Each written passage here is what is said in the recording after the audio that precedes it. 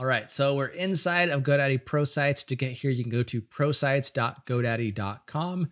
It's free to sign up if you're not a member to get all access to all of these different features and perks. But I'm going to assume that you've already added your website into this dashboard. Uh, if you haven't, you'll just click this little plus sign up here, go to add website, and kind of go through the process of entering your URL, your username, your password, and all that good stuff. But I'm going to go back to the website dashboard to jumpstart this lesson. From here, I can do things like check out my updates, look at my hosting, optimize certain elements of my sites, check out my backups, my notifications, uptime, all that good stuff. Uh, but from here, you're going to mouse over and go to backups. And then you'll have this option here. Uh, again, if you haven't activated this yet, it's a pretty quick activation. Um, either free if you're on GoDaddy hosting or $1.40 a month. Uh, and you can even go and kind of modify this as well whether you want daily, weekly, every two hours, every six hours, even every hour. It's pretty crazy. Um, but back on this overview page, we have the option to clone the website. Uh, I can either use whatever my latest backup is, or I can create a brand new backup from right now. I'll typically do it from right now because I've been working on the site um, beyond my last website backup. And then from here, I have three different options. I have existing website and pro sites. I have the same domain on new server, and I have a new website. And I'm going to break each of those steps down. So existing website and pro sites is by far the easiest method here. This is, I have this website already inside of GoDaddy Pro, and I have my other website already in GoDaddy Pro. And for this, this website, the main, the, the source website, if you will, will be something like dev.domainname.com.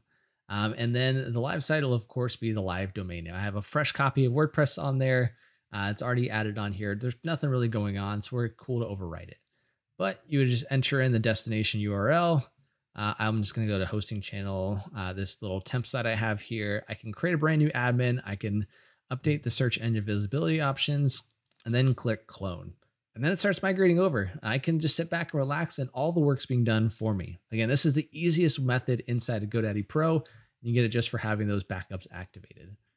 Now, if I want the same domain on a new server, uh, basically I'll just have to go through a couple more steps. I need to enter in the temporary URL or the IP address of the server.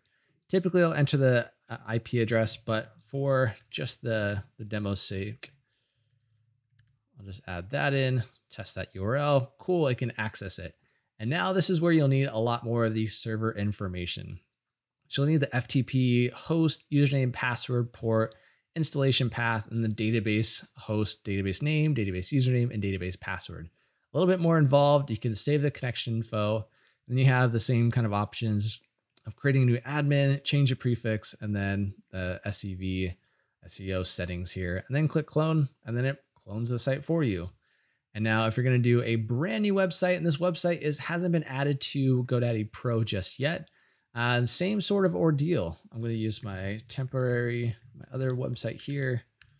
I'm going to test it. And after testing and, and it sees it can connect, it's going to ask for those same information about my FTP details and my database details. I would enter those in and then click clone. Again, by far easier just to add both sites to your, your pro sites dashboard and just use the, the existing websites in pro that what you just entered in, click clone and then just sit back and relax. There's nothing more that you have to do.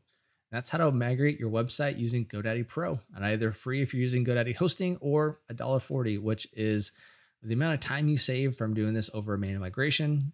It's kind of worth it. In the next lesson, I'm going to teach you how to use all in one WP migration to migrate a website.